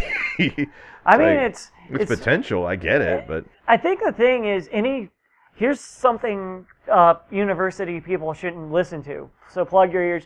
Um, like anything you learn in a university you can learn in community college, like Yes. literally anything. So, I mean, Ivy League. I will argue Ivy League still has a place, oh uh, well, those places. but yeah, for the most part, what the universities have become is an HR screening process.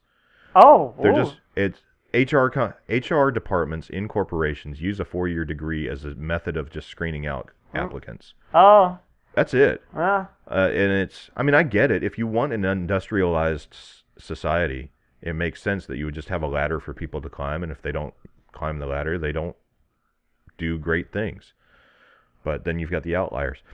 The real issue now is I can go take a class in directing from Ron Howard on Masterclass. oh, and it'll probably be a better class. And what's great is he's not the only director. Martin Scorsese's doing Oh, one as well. no, no, So- like Spike Lee almost made me sign up. I'm like, Yeah. yeah, Spike Yeah. Lee, he has that passion, and you're like, okay, I'm. So I'm it- it's you know. Penn and Teller, Chris Voss, and Ron Howard for me. So it's Spike Lee. Anybody Danny else? Elfman. Yeah, Danny Elfman. I forgot he's doing one. and it's the future. It's That's how it's gonna here's, be. Here's the other thing about it is it's um, we're at a point now where you don't have to do hundred classes on something. No, If you do no. a good one and distribute it, you can do it it'll too. keep working. You update them periodically, right? But now we've got different filmmakers, different teachers competing in a free market to where only the best ones will continue doing it oh yeah. because only the best ones will get subscriptions. Oh, so that. So now we're actually we're creating a free market university that's a heck of a lot cheaper. Which is I mean, Yeah. it was the natural direction for all these super universities. They're just going to crumble. oh man. They need to update their model. Oh, um, ding. Just I mean, you've been there. Uh, it- It, yeah, what it is is it's to me it's like being in a museum and then realizing why you don't go to a museum every day. yeah. And it's and I think it's because and I don't want to be too spooky. It's like because you feel like dead people are actually there. Like that's probably the Well, creepiest way to put about it. Figuratively, they are, right? So if you go and you actually start reading what the brilliant minds put down on paper and seeing how they saw the world and drawing your own conclusions Yeah. from that, you do that properly. You have a great chance there to do some great things and and Oh, wake yeah. up the person you could be, right? Oh, ideal, yeah. Yeah, but they're not fostering that. Oh, snap. It's it's an industry now. I'm sorry. Commodification. That's one of the reasons that as a homeschooler, I was growing up and I'm looking at it going, why would I go there? Oh, snap. I we're in an internet age. Like I was there at the, you know, what 1994 we could say is really when the internet takes off. Barely. Yeah, yeah, and and even in 1997, I'm going, I'm finding everything in the encyclopedia because I had all the encyclopedias, oh, that's funny. right? yeah. Uh, I'm finding that in two seconds, searching Netscape, Netscape. Ooh. Netscape, and ah. Yahoo. Oh, Oh, yeah, hey, yeah. whoa. Because I was not going to get on that Google bandwagon. That was No. destined to fail. No. Shows how smart I am. Uh, yeah, it's just it's it was already starting to show is obsolete to me because I'm in love with adopting the knowledge. Oh, I yeah. don't care about the credentials. Oh, me neither. And that's why I think. Okay. Shut the the thing off. Just kidding. Um, on. The best teachers are usually the ones with the low IMDb credits because they know how to teach really well because they're spending more time teaching than doing things. I think know? they genuinely care. Yeah. You you've got only so much time in this life. Are you Yeah. going to spend it teaching people to foster their skills, or are you going to spend it showing off your skills? Oh, I mean that's that's the trouble with with tutorials is half of them are like I can do this well, and you're like, okay, that's why you did it. Yeah. You know.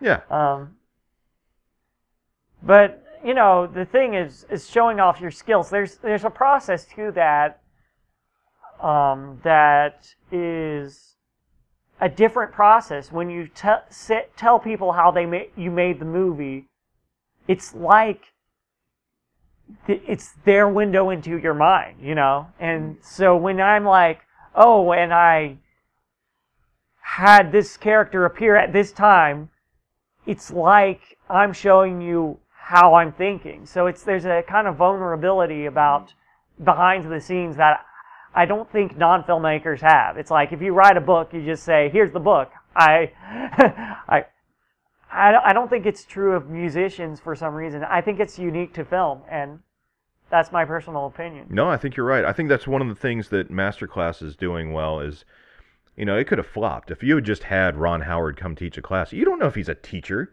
Uh, He- he's an incredible filmmaker, yep. incredible actor. I love him in everything he's done. Oh yeah. Um, he might really suck at teaching, but if you've got a whole crew of brilliant teachers that can teach teaching, now you can coach all the talents, and you can do it in multiple takes because they're not in front of a class. Oh no. They don't have to grade the papers. You have somebody else do that kind of thing, and you've you've found that way to take that spark of brilliance that's talent and make it teachable. I think that's the real mastermind element of masterclass. I'm looking forward to seeing other schools start doing that. I mean, I think the fu- the future of, of school is the internet. Like, I'm not saying, I mean, you might be saying, but I'm not saying universities are bad. I th- just think they're operating in a 21st, 20th century model, and this is the 21st century. And, you know, subscription base is how how education is going to be done. But I think maybe some of that is people just want to hold on to to students that they can foster this traditional method, so they they bear down. It's like, why do I have to take a class in um, European culture? It's like, you know, the culture of Switzerland. What does Switzerland have to do with my movie making? Well, it hmm. used to be back in the day when you went to university, you were to be made into a gentleman. or a Oh, lady, wow. Right? And when you're a gentleman, when you're of that breed, when you're of that elite, there's a certain breadth of knowledge that's expected of you. So that made sense to me. But that's not what we're doing anymore. What we're doing is we're charging a ton Yep. for you to get a stamp of approval. Yeah. It's like, you know what? Just like Relient K said, I can take calligraphy and make my own fake degree. I can get it on the web and hack my own credentials if I wanted to. If I really, really wanted to, if you, uh, it'd be a heck of a lot cheaper to do fraud like that than it would be to go get a proper degree. And if you looked at my work ethic in one year of be- of employment, let's say you didn't discover that I'd faked it until a year into me having a job. oh, you you will have gotten that experience. Well, you've gotten the experience, but then compare me to my peers. And do I fit in? Do I deserve to be here? Then didn't I deserve the degree? oh man, it's the trouble is that gets tricky. Oh, well, Because- yeah. Yeah, because the, the the trouble is okay. Okay, now I'm gonna take off all the film school listeners, but it seemed like the more interesting the person was in how they understood a project, the, the less likely they, they were to get the, the class assignment done handed to them. And I Mm. think it's because there's kind of a reliability bias, and so if you're very interesting, it's like, Well, the interesting people don't fit in the box, right? oh yeah, And all they want to do is at the end of the day check the box saying, yes, you did this, yes, Yeah. you did that. It's like, it could be so much more than that. It Oh. was so much more than that. Now, I'm not saying there's an intentionality. I think there might be in some places, but br- broad scale, I think it's just the trap that all businesses fall into. Every business model falls into this. You just start doing the same old thing, charging as much as you can, and if you can get the government in on subsidizing loans and insuring loans, and then, you know, Uh. you can't, you know, you can't declare bankruptcy on school debt. that is wild. You are an indentured servant for your knowledge. Yeah. Well, certification of your knowledge. Uh, that that's. Does that seem right to you? Nah, Rick. I, it blew my mind when I heard this. Uh, I mean, so we bashed film school, or not film school. We've bashed some School, school. We I've, bashed I've, school. I've bashed the, the school philosophy a bit. Yeah. Uh, But really, at the end of the day, I I don't think it's necessarily malevolent No, of course not. overall. No. but I do think it's an outdated model that is just like newspapers about to die Oh, if they don't update their model. And I think Masterclass is a good glimpse of what universities should be doing. It's free market, high end education with the best and brightest minds in the business or in I the mean, fields. that's where it's going. The got- internet is kind of. The So- behemoth. So where are you going? Oh, What's next for John? Where where do you want to be with your art? let's see. I know that's a big tur sharp turn. Oh, but- big. Where do I want to? I think where I want to be my, with my art is when when I come to the point where I realize it doesn't have to be perfect. Mm. You know, I think that's when you start to mature as an artist. When when you're like, that's not perfect, that's okay. So, um, so yeah, this is how I think. I bought um, a hundred sheets of transparency paper, but like to, to use as as a film cell. And what what I realized is I couldn't make those big drawings without being a nightmare to organize. So I bought like smaller paper. So now it's going to be less good drawing, but it'll be real paper and But given your your vision for that art, it's a worthy sacrifice. It oh, sounds Oh like. yeah, yeah. getting it made versus getting it perfect. You know? Sounds like you're growing. yeah. I think there's a balance there, right? You got to find where it's it's a compromise that doesn't take away from the experience. I Because there are some compromises that I could say, yeah, this is good enough, and it would actually take away from the overall experience, but then it wouldn't be good enough, right? I mean, I think you're doing a good job of I, I think the the thing is the the question you have to ask yourself is it is it are, am I saying it's good enough because it's easy for me, or was it would it actually be harder to to make the move like would it be easier to, I think the point comes when you are asking yourself if it would be harder emotionally to let the movie go or to fix the problems because when it, you've gotten to the point that it's hard for the movie to be it, what it is i think that's the point where you have to let it go because the movie's the movie and it's like if you want an even better movie start from the ground up and make another one but like oh man, I mean, I, I agree with you. Yeah, you know sometimes it grows into something that it was never supposed to be. Yeah. Temple of Doom, I think, is a good example of that, and they just didn't. I mean, you can't pull the plug on a big budget production like that. oh Temple of Doom is i'm, I'm going to defend that one because Oh, wow. that okay. that film has some of the best action scenes in film totally It agree. has some of the best cinematography in film. Yeah, Harrison Ford is badass, and he worked hard. he he wasn't he wasn't like that in Last Crusade. He he was good in Last Crusade, but he was just softer in Last Crusade. hmm They So took some edge off. Yeah. Yeah, so it's like everything, but the story itself was good. But that's a really big problem. That's a huge thing. Yeah. And the, thing is, it's like Sankara Stone's World Peace. It's like, where does Indy care about that to begin with? I mean, that's his first movie, but why not start with something smaller and build up his character from there? And Yeah. Batman Begins it, which is anachronistic, but Yeah. Well, it sounds like they were trying to do a.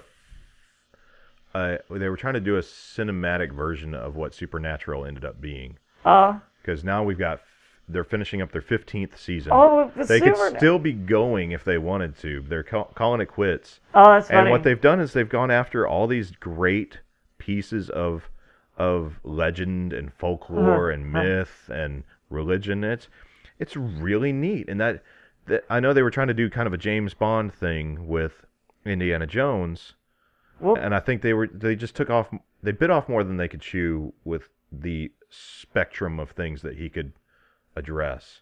Well, uh, the thing is, J- Indiana Jones is a James Bond riff-off. Mhm. So it's it's kind of like they're trying to make it more of. But honestly, I don't know. I feel like Temple of Doom is the worst story, but Crystal Skull is. Oh, No. Crystal Skull that is. movie doesn't exist. Yeah, it, Even, I think even Dan Aykroyd would say that it's movie's it's bad, what it is. and he's is a it's huge, a lesser mummy at he's a huge fan of Crystal Skull, or Crystal Skulls in general. I, I guess that's what I think of it. Is you have the three, the Indiana Jones trilogy and the Mummy, and they're one movie. No, no, no, maybe, Maybe, perhaps. but I really like the Mummy, I like it. which I hated. I hated for the. It took me four times watching it before I decided to start liking it a little bit. It's because I didn't get the camp.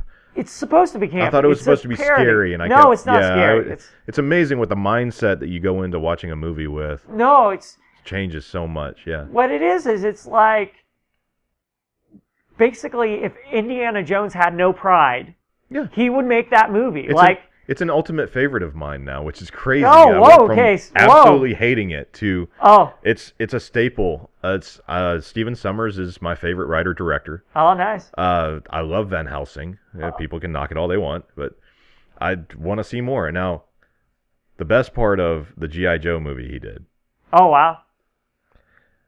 how you get a double entendre like Rise of the Cobra in the title Oh no. of a movie. I mean, you just hang your hat on that and just be done because it's like Right. I got away with that. I mean, it's. but other than that, I mean, Brendan Fraser was in it for like two seconds. I too, mean, Brendan good. Fraser is to me. I think he's he's one of these people where you're like, man, life really happened in a negative way, and you're like, he didn't deserve that. Like, he didn't Hmm. deserve to have all these bad things happening. You know, You talking about in his personal life? Just in general, tough, like. yeah. You're like, oh man, I'll I'll put you in my movie. you know, it's like, Absolutely. yeah, I don't Yeah. care what weight he's at either. I want him. yeah, exactly. Get him and Bruce Campbell together in a movie, and then Nathan Fillion. fire, Like, fire. oh my gosh, I don't know what would happen. It will be We'll just- good. We'll just turn on cameras and, and Yeah. see. I think what would happen would be is that you would have Fillion and Bruce Campbell sparring, trying to outact each other. Maybe And- I, Bruce. I don't know. He seems like a prima donna sometimes. Oh yeah, I, I don't get that from Fillion or from uh, um, Brendan. no, Brendan seems nice. Yeah, I, I wonder if we wouldn't have. What we could do is get Bill Shatner in there, Oh man, and then oh, see which one prima donna's the other. Oh, Which is funny because Bruce Campbell has uh, got some great stuff on being a big fan of Shatner. oh, that's really weird. Yeah, he act- that's um um Ash versus Evil Dead. He does a handbrake turn at Oh, the man. beginning that he learned from Bill Shatner in a green room, uh, because he was a huge fan of T.J. Hooker. That's funny. Yeah, right. It's like he asked him about like you, when you're gonna go up to a famous actor. Apparently, you're supposed to pick something like niche that shows you're actually a fan. Like you don't go up and tell Mark Hamill, "Hey, great job with Luke Skywalker." No, no, no. Right. I mean, I would go with what is it? Wolverine. You have to go with Wolverine because the thing is, it, everyone knows he's Skywalker. Most people know he's the Joker. But if you're like, man, you, You're you're blowing my mind right now. He was Wolverine yeah, he was, in the animated series. and no, but he was in one of them. Like Which one? he was in one of them. I, I do not know. Probably a straight to video movie. Yeah, probably. Yeah, I mean, like, that's, that works. I liked him in video Chuck. game. He had a great cameo in Chuck. I, I loved it. That's Um, fine. Chuck's a great one for a bunch of cameos like that. Chevy Chase was hilarious in. in Oh Chuck. man, Chevy Chase, like the. Yeah, we can put Chevy Chase in there for prima donna. Oh no, he, he just he'd tear down the movie. oh Like, wow! like- wow! Wow! I I would love to know Chevy Chase. Uh, I feel like he's gotten a reputation oh, that's pretty harsh, and I don't know that it's not well deserved. Oh, But uh, I'm such a fan of the mind that it took to put together the characters that he did. Funny Farm is still one of my favorite Mm. movies, and it's just great. It's just solid work. Three Amigos. oh yeah. The the prissy. I never would have expected him to go prissy with the character, That's funny. and it's it's brilliant. I love it. So I would love to know him. Plus, you know, I'm kind of an asshole myself. Maybe we'd hang out and get along. Maybe we'd like each other. Who knows? Who's uh who's somebody you wish you could meet, oh, spend some time with oh man, in the industry? living or Oh, let's do both. okay, Living. We'll do living first. okay, living. Yeah, and then we'll do Let's- in history. Living or dead. Okay, living. Um, let's see. Hmm. Mm. Ah, it's it's funny when you think about living people. It's like oh, everyone, but Yeah. not. Yeah. So I think um, if I wanted to do talk to someone living, I would probably choose Shirley MacLaine because she would probably know know a lot of old directors and I like it. That's a great idea. yeah. Okay. Okay, deceased Jimmy Stewart. Like Wow. The lazy eye from American Tail, Fievel Goes West. oh wow. Oh, oh okay. my gosh, I loved the, voice that he brought to that character. That was one of his last roles. It was. Oh, yeah, It was his like- last role, I think. It was in the 80s, way way late in the game. It would have been ninety, I think. Oh Wasn't it? man, I, I don't American know. Tail, I, I think it's ninety because I saw it in theaters. Oh wow. I remember seeing it. So it's, it's got to be post, you know, post '88 because my memory goes back to about the age of four, pretty well, I think. Um, yeah, Jimmy Stewart. That's a that's a solid one. And let's see, who who wouldn't I not like to meet? Who would I Yeah. Oh, okay. I think the person I would not like to meet would be um Kubrick ironically. Like because Mm. the thing is I would have to be in the position where I'm like I like who you are, but I don't like how you deal with people. You Hmm. know, it's like what you did in The Shining was terrible, you know. what do you Um, do in The Shining? basically he stressed uh, um uh what's her name uh the actress uh Shelley Duvall until she was like really terrified and it it works well but like it's it's not nice you know and so so it's like the thing is I, I couldn't be at this level of I admire you but I, I think you're you're kind of cruel. I guess that's true of a Do lot of. Do you think he's the cruelest?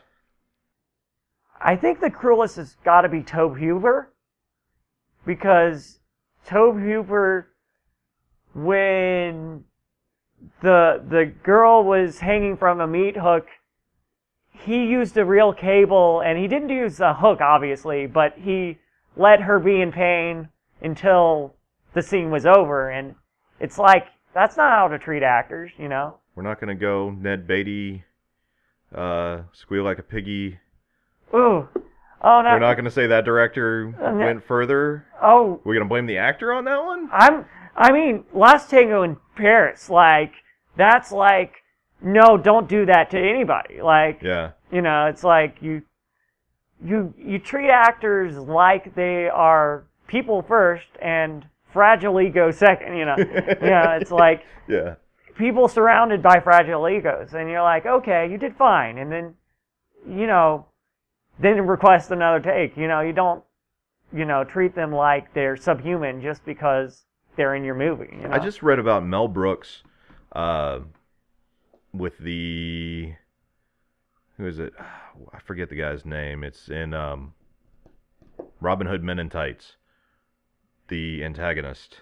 Oh, Alan Rickman? No, the Oh no, that's the real movie. yeah, that's The- actually the that's, the- serious. that's the movie they were parodying. No, the um, the guy that plays the not the king, but the the fake king. That's fine. You know who I'm talking about. Um, apparently, he got a bout of hepatitis. Uh, It was hepatitis A. He's laying in a hospital. He had one more scene to shoot. mm. It was two lines. Mel Brooks continued to bug him at the hospital Oh dear. until they he talked him into doing it. Now we got Men in Tights out of it. Mm. Uh, I, you know, it's considered his second. I think his second best work. Mel Brooks' second best work. But uh, yeah, just some of the stories you hear sometimes. It's. I mean, I get it. You really want to do it. That fragile ego thing. But you also look at Mel Brooks. He's been in the business for a while. He's like, ah, I've seen worse. I bet this guy could really do it. We just got to talk him into it. He's fine. He'll be fine. We'll get him. We'll take him in the ambulance. We'll pull Oh, him out, shoot the scene, put him right back, take him right back to the hospital. He'd be 20 minutes. No big deal. I mean, really, where where where people are getting the short end of the stick is is the stunt people, you know, because For sure. because the thing is, if they do a dangerous stunt, they won't get much glory or you know might not get. But with CGI, you could just have an entire CGI scene, and and I guess the trouble is, what's the ethics of that? Mm. Um, do I have a CGI do double do an outrageous stunt, or do I just not have the stunt in the movie?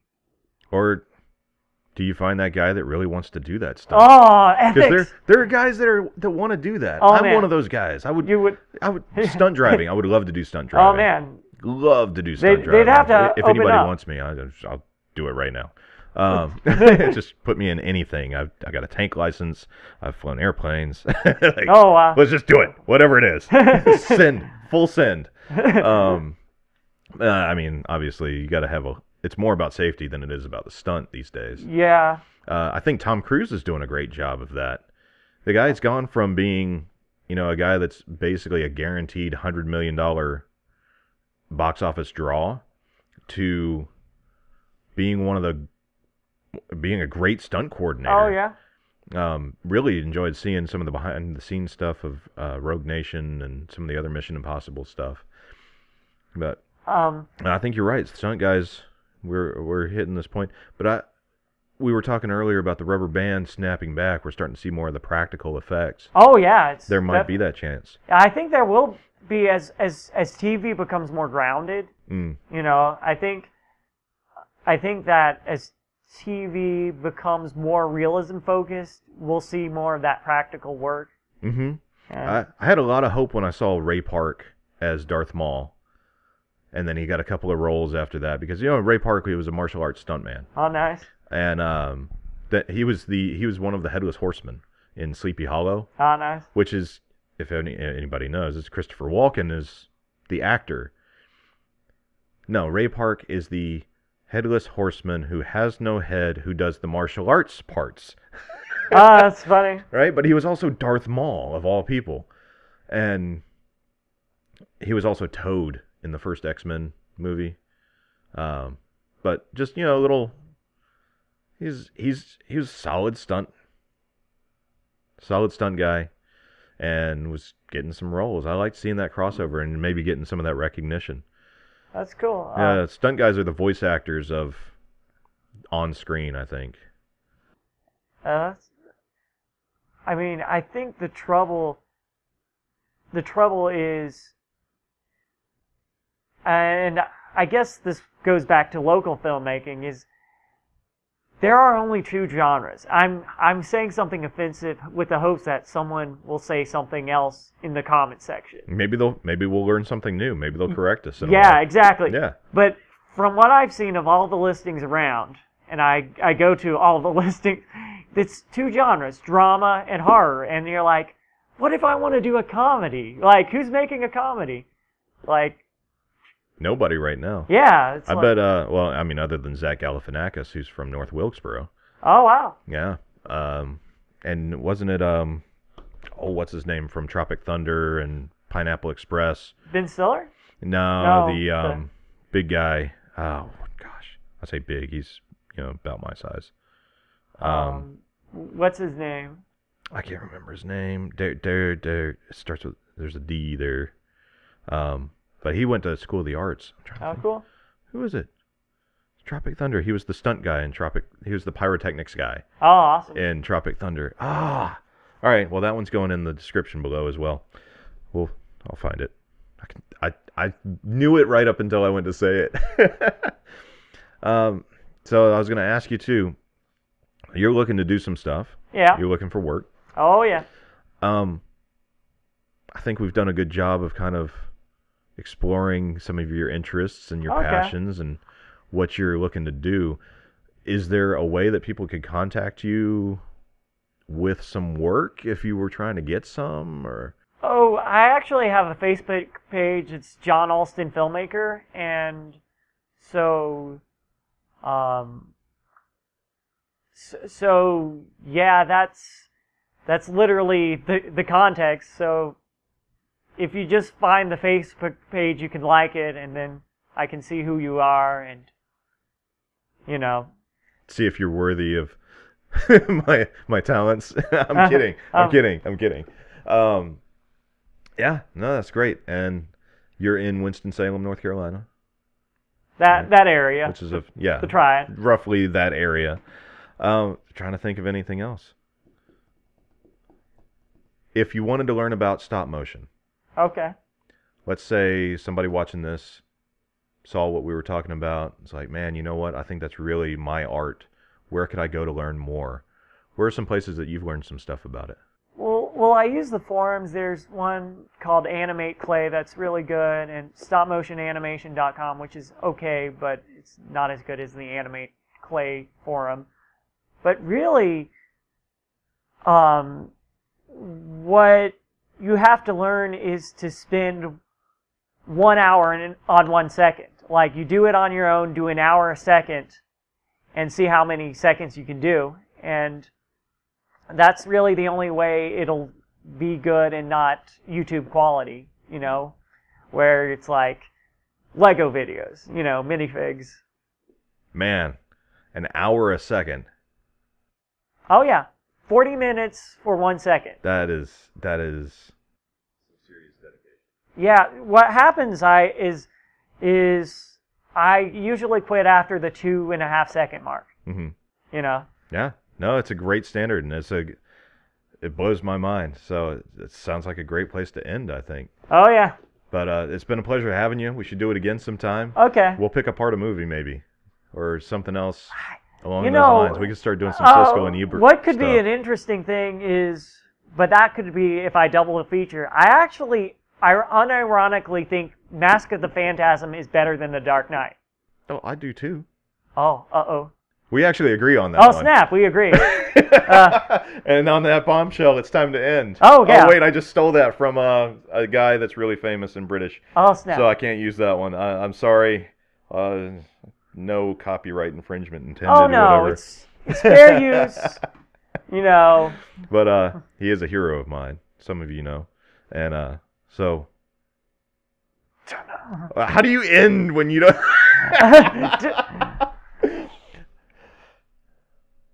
Scene. It- it- Finn, you know you. Finn. Yeah. I like it. You know Yeah. what? We'll put that in the caption at the Finn, end. yeah, We're exactly. Be talking over it, and it'll be great, and we'll fade out. Thanks, John. Okay.